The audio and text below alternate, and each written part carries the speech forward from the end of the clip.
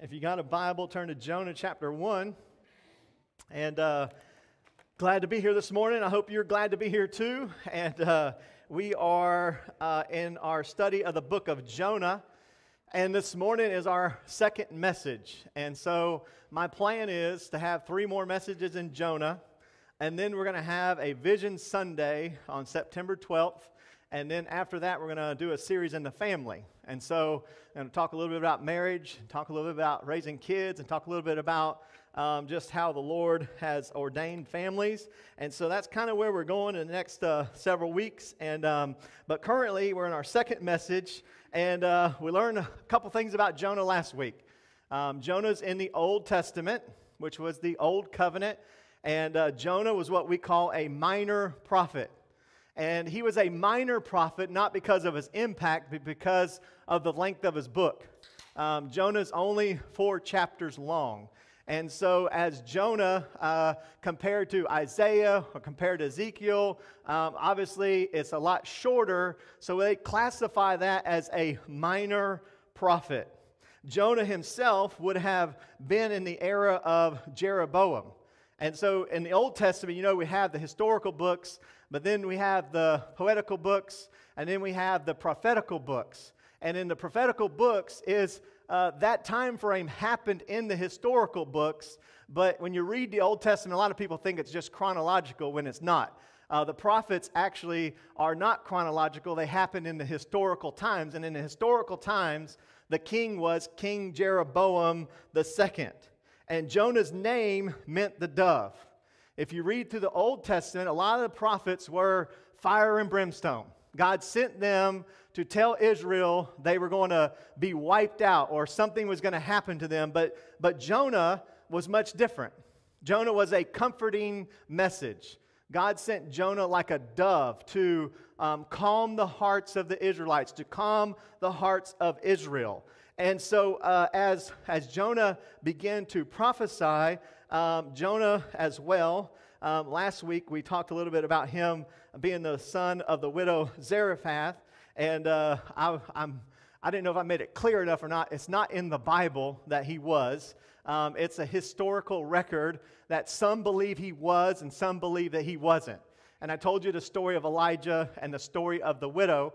Um, but some say it happened, some say it couldn't have happened because of the timeline.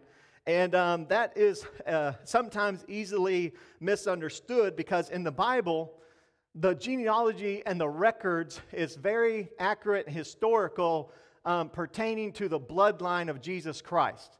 That's where the Bible really zeroes in on. Now, everything outside of that, it really doesn't get into much detail because the Bible was written for a purpose the purpose of the Bible and through the Old Testament was to show us the clear line um, to the Messiah, which was Jesus Christ. And you can see that from Mary's side. And then when you get to Matthew, it gets cool because it shows you Joseph's side too. And although Joseph was just the earthly father, um, it's still on both sides, um, the lineage goes all the way back to the Messiah through the Old Testament. So if Jonah was the son of Zarephath, okay. If he wasn't, he's okay. It's okay too, right? It really doesn't matter. And um, as we settled and talked about Jonah, uh, it was he's a real person with a real story. Some of you may have heard it's just a fairy tale, it's just a parable, it's just a story that people handed down. Um, it's maybe a story like my dad. My kids call him Poppy, and he, they come home with these stories, and I say, Where in the world did you ever hear that story at? And it's just a poppy story. But this is not just a poppy story. This is a real story of a real person that happened to him, and this is not a fiction book. This is not a fairy tale. This was ordained by God and the Holy Spirit to be put in our 66 books for us to use it, apply it, and learn from it. And so that's what we're trying to do as we embark on this journey. I challenged you last week. Um, very weakly, by the way, uh, about answering the question Am I uh, completely and totally surrendered to God? Because when you read Jonah, we're going to learn a lesson. And the lesson that we learn from Jonah, hopefully, we won't have to learn in our own life.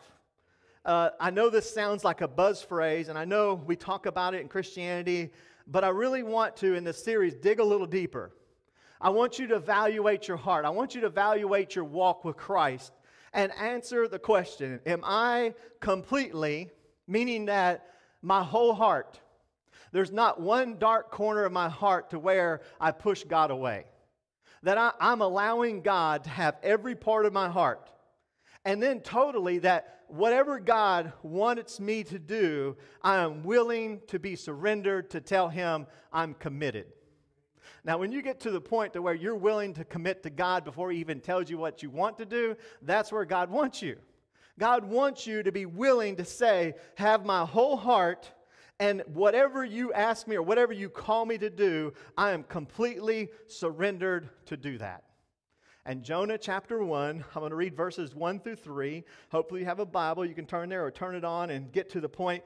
But here's what the first three verses says it says, Now the word of the Lord came to Jonah, the son of Amittai, saying, Arise and go to Nineveh, that great city, and call out against it, for their wickedness has come up before me. But Jonah arose to flee to Tarshish from the presence of the Lord.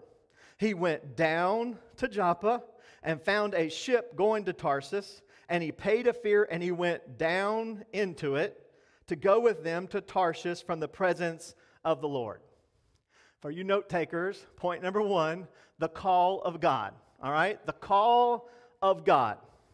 Now, when we read this, the word obviously in the very beginning says, The word came to Jonah.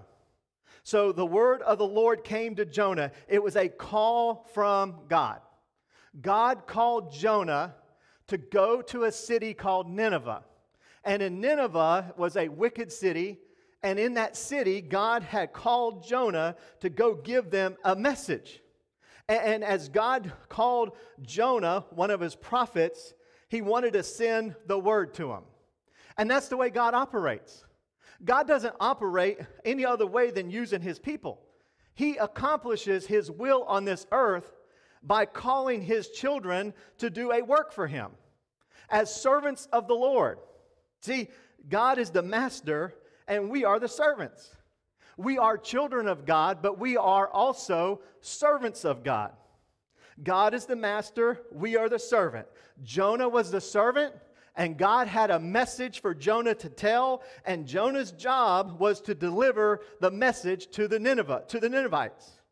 And for us as Christians, it's a great thing for us to remember have we realized that God is the master and we are the servant?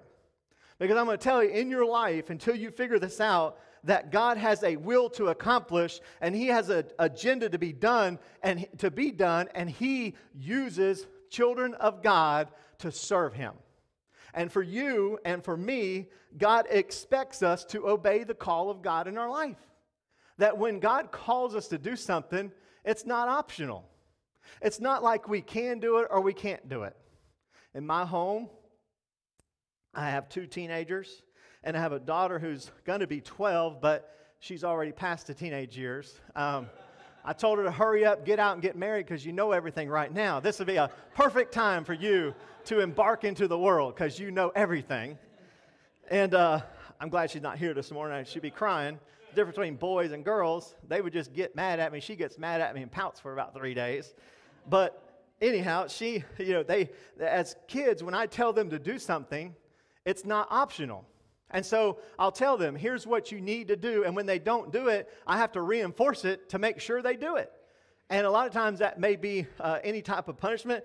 The biggest thing that speaks their language when you take their phone from them. And then all of a sudden it gets, hey, I really didn't hear you say that, Dad, which is not true. But God is the same way. He has a purpose and a call for your life. And when He calls us to do something, it's not optional. It's not for you and me to tell God what you want to do. It's God tells you what to do, and you're the servant, and we must do it.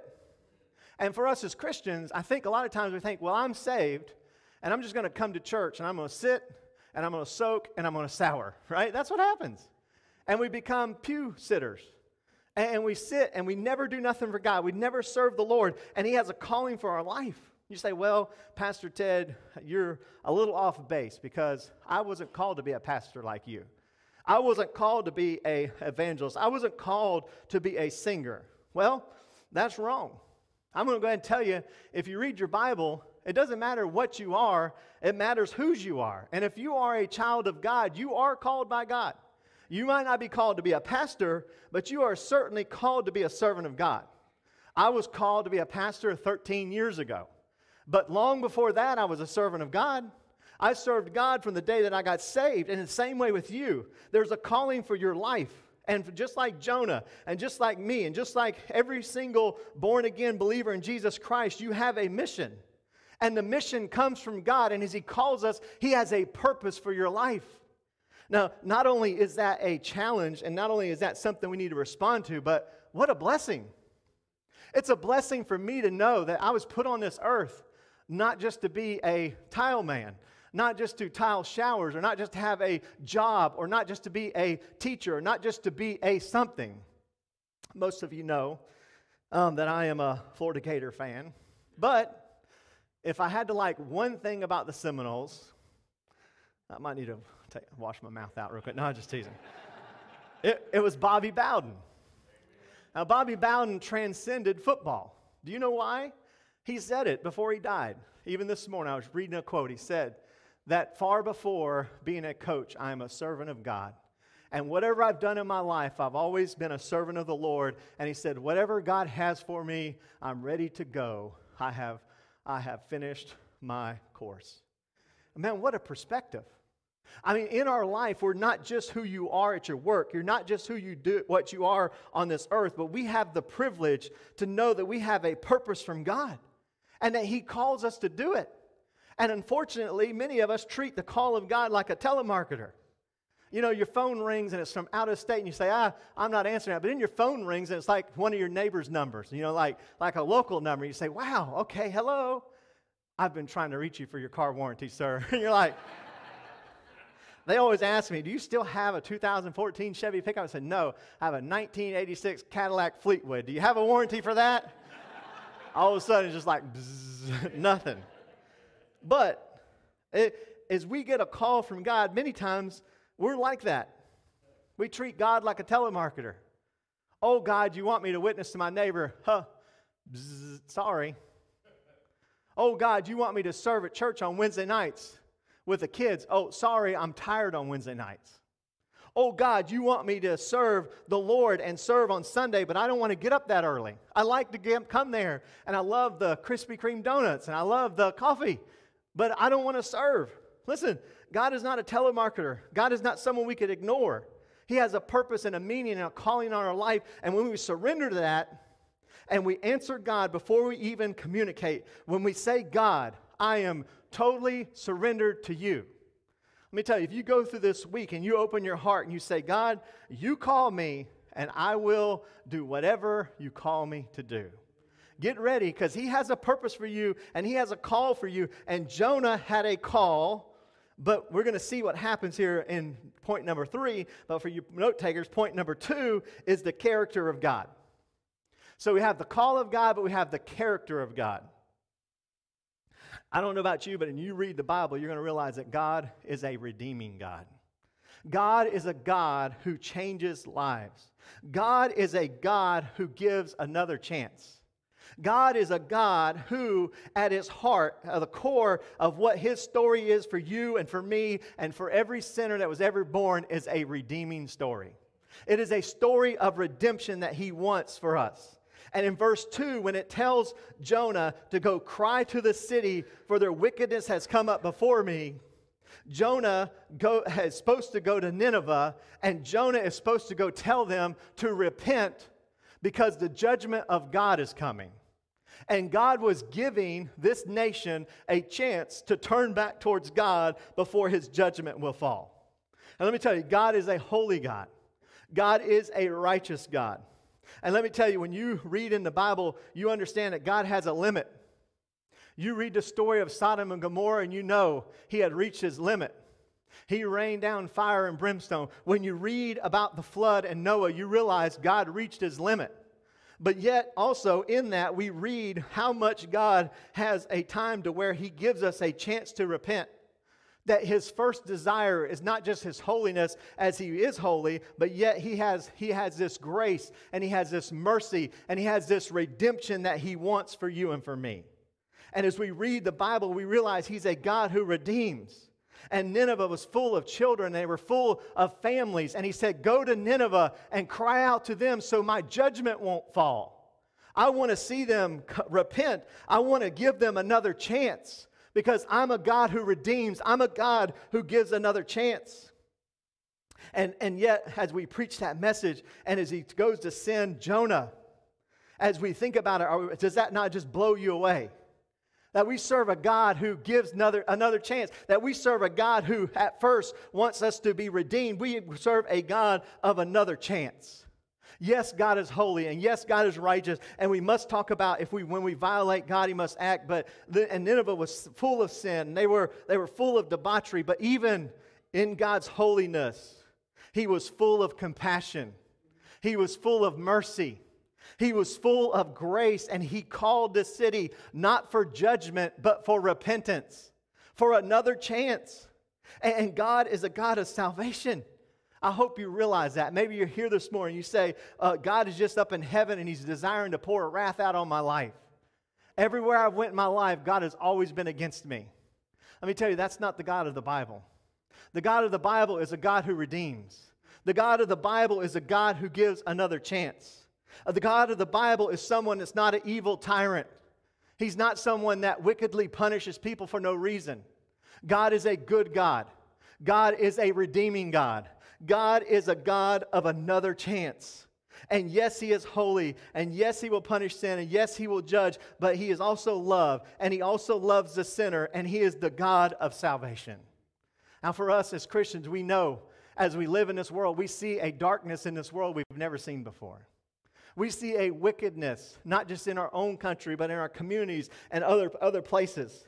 And many of us is asking, how long will God tarry? What is God doing? We, and some Christians even call out on God to judge our country or to judge the world. But 2 Peter 3 9 says this it says, The Lord is not slack concerning his promise. What promise? That he will return to judge the earth. But the reason why he is slack, he says, uh, You may say he's slack, but God is long suffering toward us because he is not willing that anyone should perish, but that should all should come to repentance. You see that? That's the God I serve.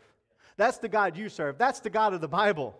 And yes, we may get on our holy high horse and want everyone to be judged, but God is a good God. And God is tarrying not for you and for me to enjoy our Christianity. He is tarrying for another soul to come know Him that will not have the wrath of God on them, but will come to repentance and faith and trust in Jesus Christ. Is that not a good God? That is a good God because I'm one of those people. If God would not have tarried, if God would have judged the world long before I even had a chance to come to know the gospel of Jesus Christ, I would have been under judgment. But he tarried and he loved me and he cares for me. And our heart should not be one of condemnation, but it should be one of redemption. We love John 3:16. Most of us could probably quote John 3:16. But John 3:17 is just as good. John 3:17 says, "For God did not send his son into the world to condemn the world, but that the, but that the world through him might be saved." Listen, if God is not condemning, how in the world do we have the right to condemn? If we are a Christian and we are following after God, we should present a God not of one who is going to punish, but a God who is one of salvation and redemption. And your life and my life, God wants redemption. He wants you to be redeemed. He wants you to have a relationship with Him. Listen, the Bible says, For all have sinned and come short of the glory of God. I have sinned. Billy Graham has sinned. Any spiritual giant that you can think of has sinned. Every single one of us has missed the mark. And we were born into sin, and that sin separated us from God. And God has every right to judge us and send us away for eternity. But God demonstrated his love in, uh, toward us that while we we're yet sinners, Christ died for us. You get that? Some of you think I need to get better or be a better husband or be a better wife or become a better person before I come to God. God says, Come as you are. You are a sinner that you need to be saved, and you call out on God, and He will save your soul. He will save who you are, and He will redeem you. And in our hearts, isn't it great to know we've been redeemed? And, and for us as Christians, for those who've called upon the name of Jesus Christ, man, we should, our hearts should explode. Redeemed, redeemed by the blood of the Lamb. I've been redeemed by Jesus Christ. Redeemed, redeemed. His child I forever I am. And the, and the character of God is one of redemption. If you're here this morning, you've never been redeemed, what a great day to do it. Don't wait another day. No man is promised tomorrow. As you hear my voice, you have an opportunity, and the God of redemption is calling your name only. Surrender your heart to the Lord and say, Lord, come into my life and save me. And He'll do it. You know why I know He'll do it for you? Because He did it for me. If He did it for me, He'll do it for anyone. And Jonah had this message. And Jonah had the call of God, and Jonah knew the character of God. Point number three Jonah running from God. Now, I know this is probably the most famous of all Jonah's points because Jonah does run from God. And I used to hate preachers that would do that because it would make me so thirsty. But sorry, I'm, I'm a little bit sick. If you don't have a bottle of water, you can go get one out there, by the way. But, uh, anyways, Jonah running from God.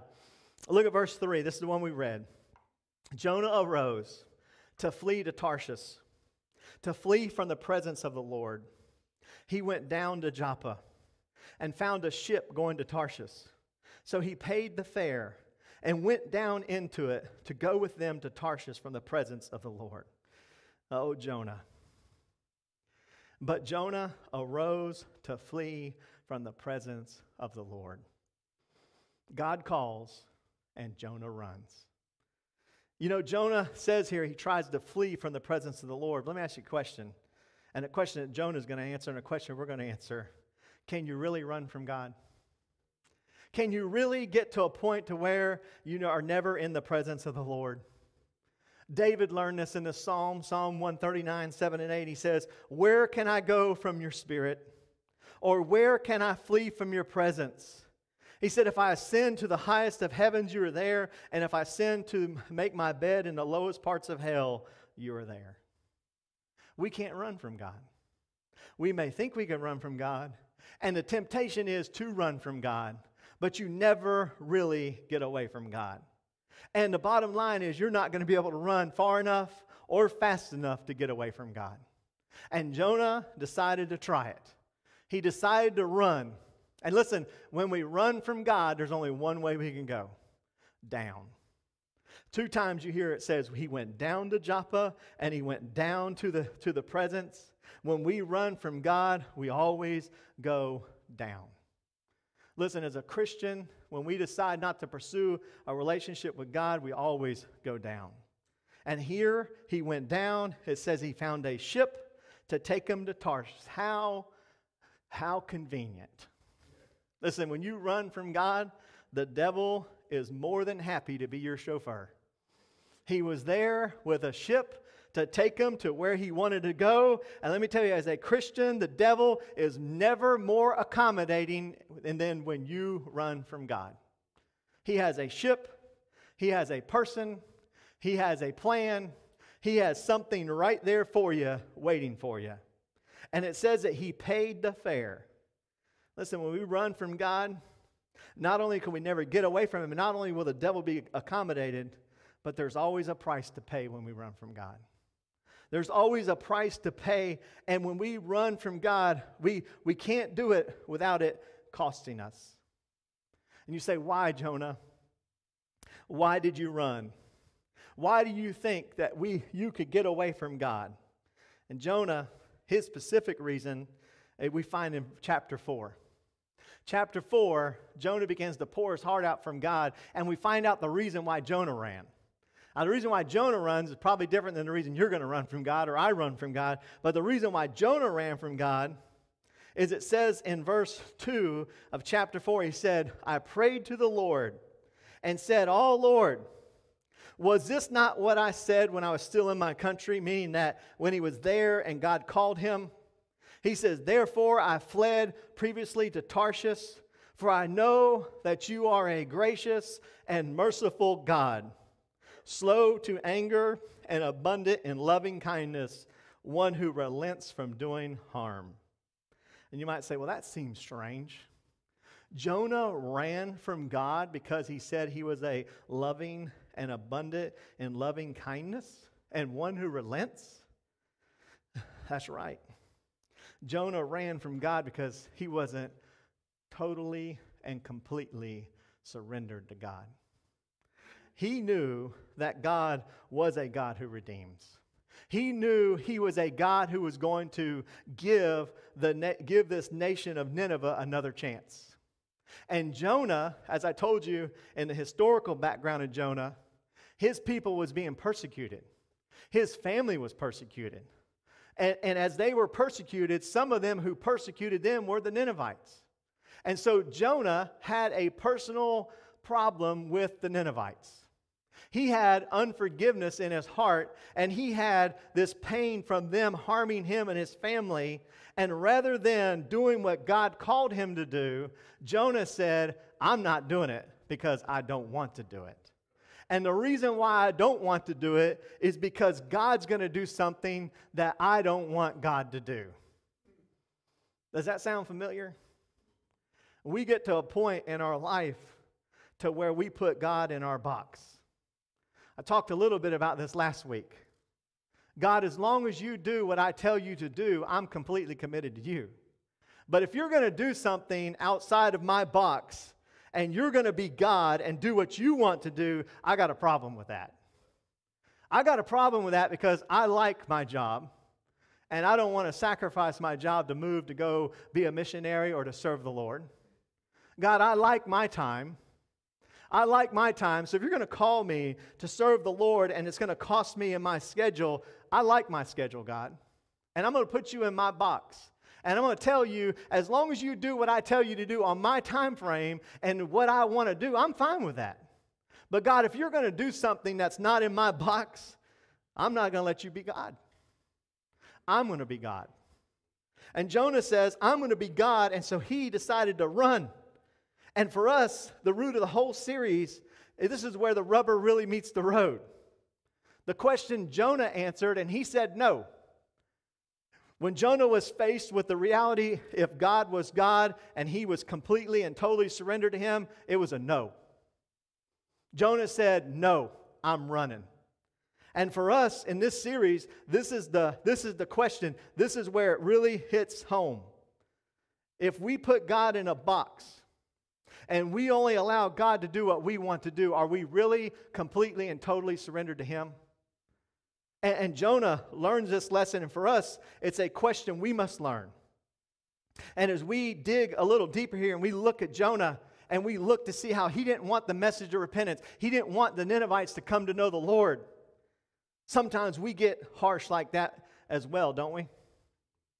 And you know, I told you, living in this world, and I told you, having a lot of time when I was sick to watch the news and to listen to people talk and to listen to people who are in, in, in your life. I must say that when I was there in the hospital, I didn't care who walked through those doors. I didn't care what color they were. I didn't care what preference they were. I didn't care what side of town they lived on. I don't care how they got to that hospital. When they walked through that door, I knew they were there to help me because I couldn't help myself. I knew that they were there from the compassion and mercy of God to help restore me. And when I looked at them, I didn't care if they were Republican or Democrat. I didn't care if they were from the west side, best side, by the way, all right? I didn't care if they were from the south side. I didn't care if they were from St. Johns County or they were from the north side. I didn't care. And listen, it, it was a wake up call for me. And for Jonah, it's a wake up call for him. And for us, it's a wake up call. Are we more worried about our personal preferences than we are pursuing people with the gospel of Jesus Christ?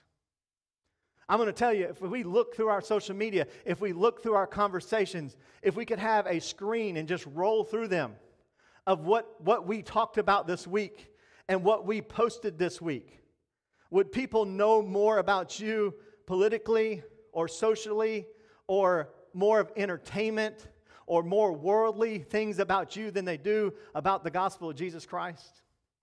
Jonah got to the point where he cared more about who he was and his family was and his country was more than he cared about pursuing them with the message of God. And for us as a church, for us as a community, for us as a body of believers, have we become so stuck on what our preferences are that we're not willing to pursue people who don't look like us, don't talk like us, don't vote like us? Are we rather judge them rather than to bring them the gospel of Jesus Christ? Listen, I can convince you to vote a certain way. I can convince you to like things that I like. I can convince you to do things that I do. But the most important thing I could do for you is to share the gospel with you. Listen, that's what really matters. I'm going to tell you when you come to know the Lord Jesus Christ and when you die and you're going to stand before Him, He's not going to ask you those things. He's going to ask you, Do you have a relationship with me? Have you surrendered your heart and life to Jesus Christ? That's what matters. And for us as Christians, like Jonah, listen, we can have preferences and we can chat and we can talk about them. That's great. I love to talk about those things. I love to talk about my opinions. I have a lot of opinions, but you don't see me preach my opinions. You don't see me preach opinions because opinions come and go. And opinions are like armpits. Everybody has two of them. And sometimes they stink, right? It's the truth. But listen, if I took someone's opinions and hated them personally so much so that I wasn't willing to share the gospel with them, that's wrong.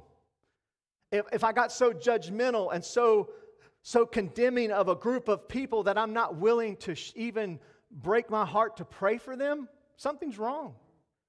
If someone in your family member has come to the point that you would rather wish the judgment of God upon them rather than engaging them with the gospel of Jesus Christ, that's wrong.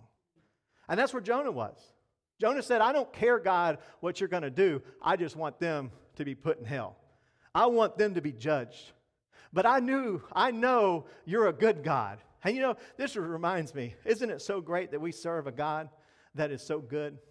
Listen, you guys would be in trouble if I was God, right? You would be in trouble if God, Jonah was God. We all would be in trouble if you were God, right? Because we, we're not good. We don't have the heart of God. We don't have the compassion of God. And, and Jonah wanted to be God, and Jonah wanted judgment, but God wanted uh, redemption.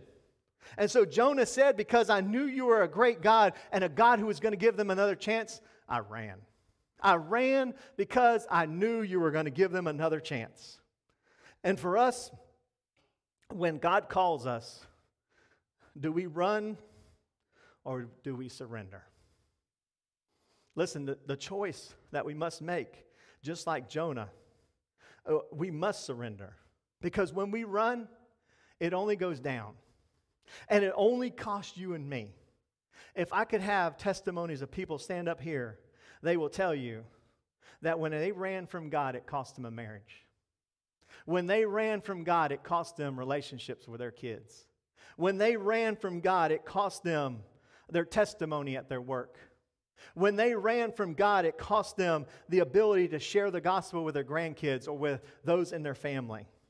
And listen, when we run from God, we go downhill. Not only do we go downhill, but it costs us, we have to pay the price.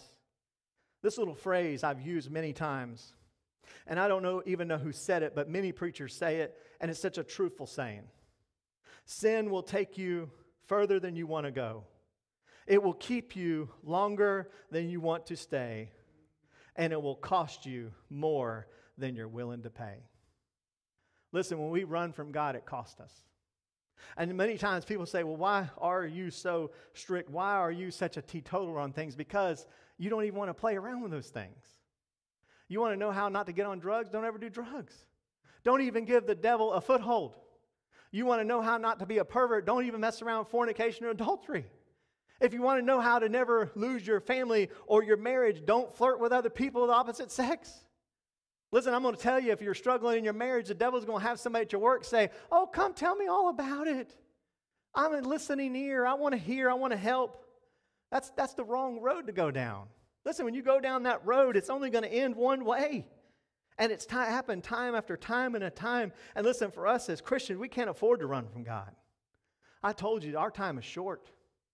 Not just because I'm getting older, right? I was thinking this month, At the end of this month, I'll have a 19 year old boy, an eight, wait, a 19 year old man. I'm sorry. I will have a 19 year old man, a 17 year old boy, and a 12 year old girl. I was thinking the other day, it's like, man, their parents are old. I am their parents. I'm old, right? Uh, man. You know, you start these stories and say, yeah, 10 years ago when I was in high, 20 years ago when I, no, 25 years ago when I was in high school, right? You, I mean, time's so fast, not only for us, but just in this world. Time is coming short, and we can't be messing around as Christians. We got a job to do. God has called us to do something. And in your home, your family, your neighborhood, God has called us to share the, G- the gospel of Jesus Christ, and we don't have time to run from God. And if you're here this morning, you're running from God, you got to stop. If your heart is hard and you're thinking of running from God, stop this morning. If you're in your marriage and you feel like giving up, stop it. Fight for your marriage. It's worth it. Fight for your kids. It's worth it. Don't send your kids off to other families to let them raise. Don't send your kid off to school to think that they're going to teach them the things of God. No, you take the time to do it. You answer the call. You don't run from God. You, you stand up and don't run from God. Let us have a heart of compassion. And if we are hard hearted and we are judgmental, ask God to take your heart of stone out and put a heart of compassion and a heart of, of flesh in your soul. And as we come to our condition before, as we look to these pe- as people around us, as we look to their condition as lost and, and, and needing God, that's the way we were. Every one of us, when we come to God, we didn't earn it. You don't deserve to be saved. No one has. We are just sinners saved by grace. I love what one preacher said uh, uh, evangelism is telling another beggar where to find bread. That's what we are. That's what you are. And for me and for you, just like Ephesians 2 8 says, it is by grace that we have been saved, not of ourselves. It is the gift of God. And if it was the gift of God for us, why wouldn't we want it for other people? Why wouldn't we want it for the person next door? Why would we not want it for our work, person in our workplace? Why would we not want it for the person that we come in contact with? And so the answer, as I said, to the question this morning is up to you. Am I totally and completely surrendered to God? Or do you have God in a box? If you have God in a box, you're going to run just like Jonah as soon as he does something you don't want him to do. And I said last week, and I say it this week God never takes second place. He never does. He's God for a reason. And He's number one. And we may put Him second place, but He's never going to settle for second place in our lives. He wants first place. And if we put God in our box, God is going to put us through the process, and we're going to learn what happens when we run from God. Jonah gets swallowed by, up by a fish. And in our lives, we have other things that God's going to do to us. But for this morning, Ask yourself Am I totally and completely surrendered to God? Are you going to run from God? Or are you running from God? If you are, it's not worth it. It's far better for this morning for you to come to God and say, I surrender all. Here I am, God. Totally and completely surrendered to you. Let's pray together this morning.